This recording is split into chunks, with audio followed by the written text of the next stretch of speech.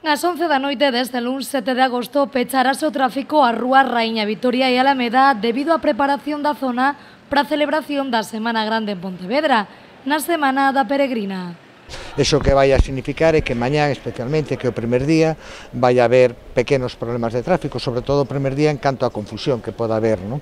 Eh, vais a, a invertir unha serie de rúas, por exemplo, Xeran Martitegui, cara á Rúa Alameda, e Chegarai, eh, que se vai a permitir os servizos e aos, os residentes e en canto ao demais, bueno, pois eh, esperemos que non haya moitos máis problemas. Nenda Policía Local recomendan utilizar a AP9 como medio de conexión entre a zona norte e sur da cidade.